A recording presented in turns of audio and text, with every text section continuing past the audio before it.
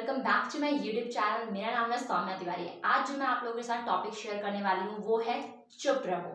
Yes so guys चलिए फटाफट से वीडियो को स्टार्ट करते हैं। अगर आपको ये स्टोरी अच्छी लगेगी तो प्लीज़ बिना कहे आप लोग लाइक कर देना और इसको अपने दोस्तों का ज़रूर शेयर करना। एंड आई होप आप बहुत अच्छी लगने वाली है। तो चलो फटाफट से शुरू करते हैं।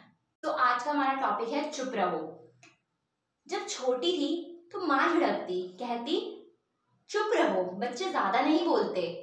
थोड़ी बड़ी हुई तो बाप ने डांटा कहा, चुप रहो, अब तुम बड़ी हो गई हो। थोड़ा जवान हुई तो भाइयों ने टोका, चुप रहो, तुम्हें दूसरों के घर जाना है।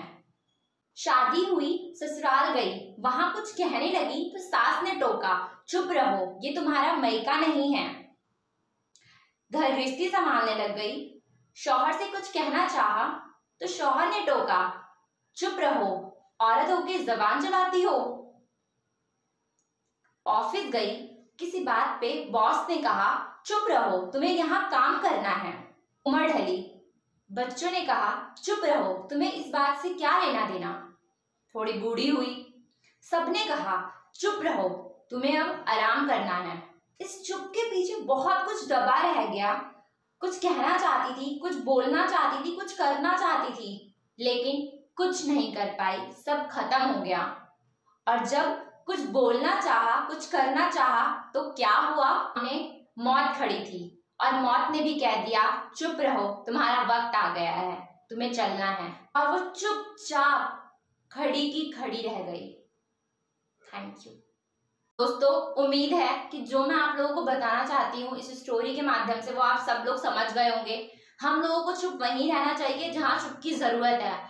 लोग क्या कहते थे कि पहले रिश्ते चलते थे अच्छे से क्योंकि औरतें चुप रहती थी। लेकिन सही बात यह है, उसको अच्छे से एक्सप्लेन नहीं करा उन्होंने।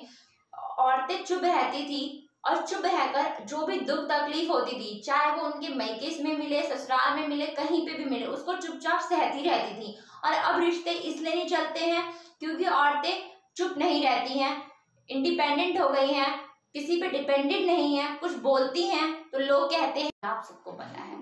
दोस्तों आई होप आपको ये स्टोरी बहुत अच्छी लगी होगी। अगर आपको ये स्टोरी पसंद आई हो तो प्लीज़ इसको लाइक करना शेयर करना और कमेंट करके प्लीज़ मुझे बता देना कि आपको ये स्टोरी कैसी लगी है। क्योंकि आप लोग के कमेंट अगर आप करते हो तो मैं उससे मोटिवेट होती हूँ। तो प्लीज़ आप लोग कमेंट कर, मेरी स्टोरी ये कैसी लगी है। थैंक यू सो मच मिलते हैं हमें नेक्स्ट वीडियो में। तब तक के लिए bye stay home stay safe and हाँ ये वीडियो शेयर ज़रूर करना। Thank you.